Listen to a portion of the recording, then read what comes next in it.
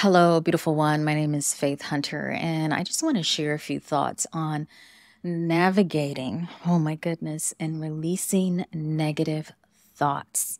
As all of us move through the ebbs and flows of our lives, we experience some really challenging and traumatic moments. Unfortunately, it is our human condition that as we navigate these moments and times in our lives, it can be hard to let go.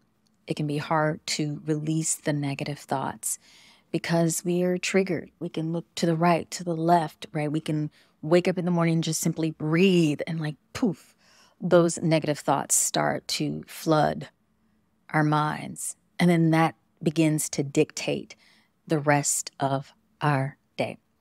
But here are a couple of things I want you to consider. And uh, yeah, I have my notes here because I really don't want to forget anything really key and important. The first thing is you want to make sure that you accept, acknowledge, and release. Our journey begins with acknowledging our negative feelings. And just as we would connect and greet an old friend, sometimes those negative thoughts are like that. Acknowledge them. Say, hello, I see you. I acknowledge you. But you are not controlling me, meaning the negative thought is not going to control you. And in that acceptance, you are making space because you are not hugging it and saying, Oh, I'm holding on to you for the rest of the day. You're like, hey, boo, how you doing? I got you. I've heard you. I acknowledge that you were there, but I have so many more things to do on this path called life. Acknowledge, accept, and then you start to release. Well, you're probably one with Faith, how do I release? You release, I feel, the power of the breath, and then merge that with intention. So I often recommend that when you are even just walking down the street or you wake up in the morning and you have those negative thoughts start to flood in, you pause, you breathe in a good thought. And then as you exhale with intention, you're like, I am letting go of that negative thought. You breathe in what nourishes you, what feels good, what is loving. And then you exhale that thought that is not going to serve nor uplift you. The other thing that I find that is useful in releasing, right? If you're like, oh man, just sitting there breathing, meditating is not going to do it for me. I also like to get on the treadmill, get my body physically active, do my yoga practice because what happens is that negative energy sits in our physical body. And through the movement, we are able to shed and peel back the layers. So when I'm in my movement practice, my, my deep yoga practice, or I'm on the treadmill or taking a walk out in nature, again, I'm breathing in I'm thinking positive vibrations. And maybe when I take a twist, which twists are very cleansing, or if I'm doing a nice big, oh, let go, release, maybe even shaking my hands, this kind of movement helps. It's all coming out. It's not staying in your physical body. And as a result, it's not going to stay in your mind. The other thing I like to do once you've accepted, acknowledged, and started that process of releasing, I always say that you have to lay a new foundation. You have to set a new foundation because a traumatic moment is one of those things that can be really, really uncomfortable. And it shakes our foundation. Sometimes it will break and crack our foundation. So, one of my favorite ways to set a new foundation is by positive affirmations.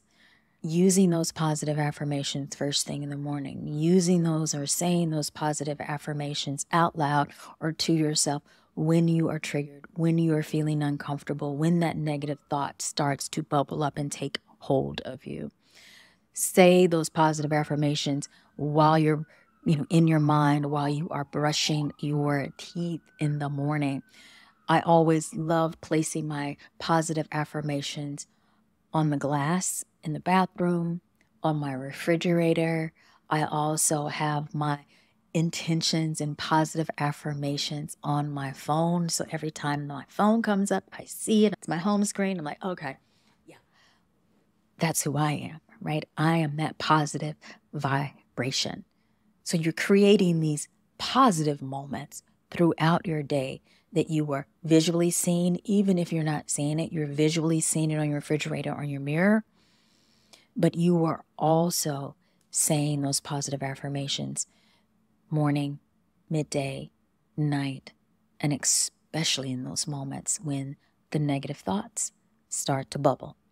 And the next thing, create space for your heart. Create your own sacred space. And when I say sacred space, it can be a physical sacred space or an energetic sacred space. Now, let's first talk about the physical sacred space. I like having my own little sacred altar in my home.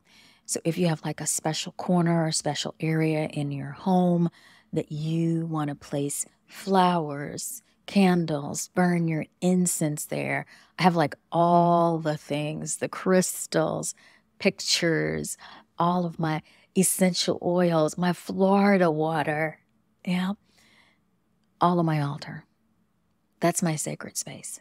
I love meditating in front of that. I light my candles every day in front of that. When I'm doing special intentions, new moon rituals, full moon rituals, I do it all in front of that physical sacred altar. Now, my energetic sacred altar is my inner being. It is my body, my mind, and my soul. And the way that I cultivate that sacred space is through my meditation practice, through my breathwork practice, through my yoga practice, my physical practice of intentional movement.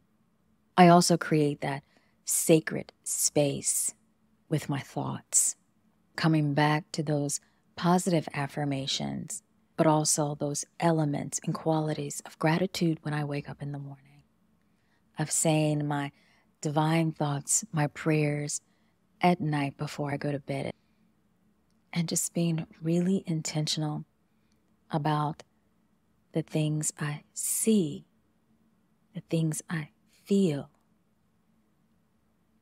the things I experience on a daily basis. And that creates an internal sacred space. There you have it. Thank you so much for joining me. And again, I'm Faith Hunter, and I'll see you soon. Ciao.